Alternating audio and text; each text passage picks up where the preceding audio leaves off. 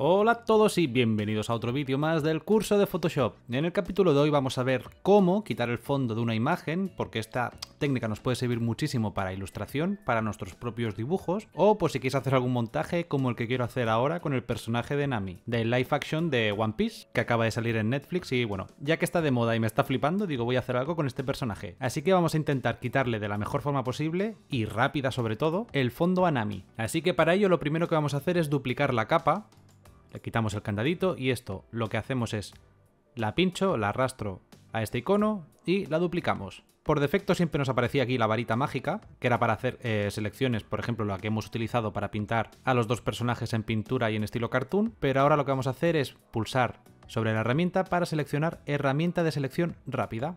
De esta manera vemos que nos aparecen aquí dos nuevos botones de opciones, así que pulsamos en seleccionar y aplicar máscara. En este panel que nos aparece en la parte derecha, en la opción de vista, seleccionaremos donde pone negro y selecciona sujeto. A ver qué nos encuentra Photoshop. Vale, nos lo coge casi todo. Ya vemos que ha hecho un gran trabajo con el pelo. Pero por ejemplo la mano no me la está cogiendo y también quiero que me aparezca en primer plano esta cosa de aquí con cuerdas que no sé qué es. Así que como vemos el, el puntero nos aparece con este icono. Simplemente si vamos seleccionando ya nos eh, coge áreas completas. Voy a seleccionar también la mano. Y ya lo tendríamos todo. Siguiente paso, nos vamos a perfeccionar cabello. Para que nos siga retocando un poquito más la selección. Y pulsaremos descontaminar colores. Esto lo bajamos un poquito, a un 60 o 70%, lo voy a dejar así más o menos y le damos a aceptar. Bien, ahora parece que no ha hecho nada, pero sí, si desactivamos la capa inferior, que es la que habíamos duplicado al principio, madre de Dios bendito, cómo lo ha dejado.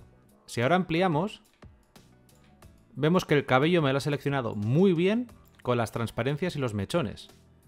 De una forma súper fácil, acabamos de limpiar el personaje para quitarle cualquier tipo de fondo que tenga, y ahora pues si quieres puedes jugar un poco. Vamos a ver qué podemos hacer. He abierto un fotograma random de la serie, calidad lamentable, pero me da igual. ¿Por qué? Pues porque lo arrastro, lo dejamos en una capa por debajo de Nami, con la tecla Control T, vamos a hacerlo grande para que cubra toda la escena. Lo acomodamos bien, y seleccionamos Enter. Ahora vamos a ponerle un desenfoque a todo el fondo, pulsando en filtro, desenfocar, desenfoque gaussiano. En un 5,8 por ejemplo está bien. Y ya tenemos a Nami en el anime de One Piece. Si lo prefieres podemos seleccionar un fondo random que he escogido de internet, copio imagen desde el propio navegador, control C, copiar imagen, me voy a Photoshop, control V. Al estar ya por debajo de Nami directamente, ya me está aplicando el fondo anime. En este caso, si vemos que la luz viene por el otro lado, estaría bien con la tecla control T, botón derecho y le damos a la opción de invertir, por lo menos que tenga un poquito de coherencia.